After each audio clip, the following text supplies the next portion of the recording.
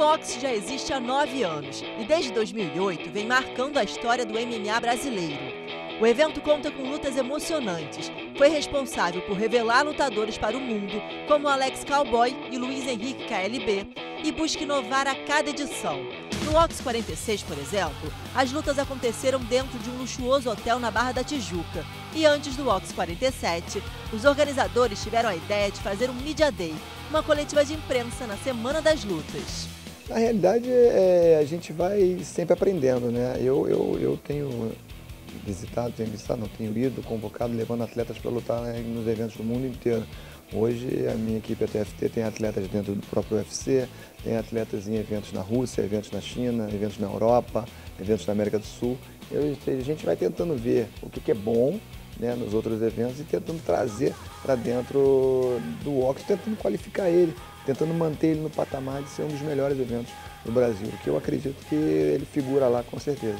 O Media Day é comum no UFC, mas no Ox é a primeira vez que acontece. Por isso não é uma novidade somente para o público, não. É também uma novidade para os lutadores, que estão acostumados a subir no cage, com o momento da encarada, mas encarar jornalista é diferente e cara de mal não adianta. Como é que você se preparou para o Media Day?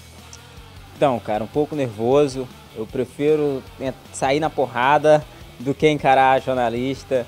É, encarar jornalista é muito mais difícil.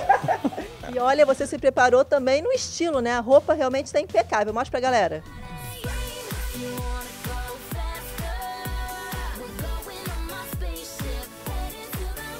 Mas também tem coisa que continua igual no evento, como alguns rostos que são velhos conhecidos dos torcedores.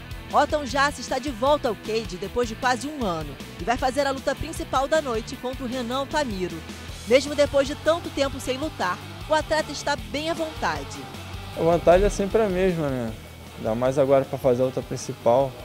Mas peso, não sinto peso para a luta, sabe? De caraca, ter que ganhar isso e aquilo.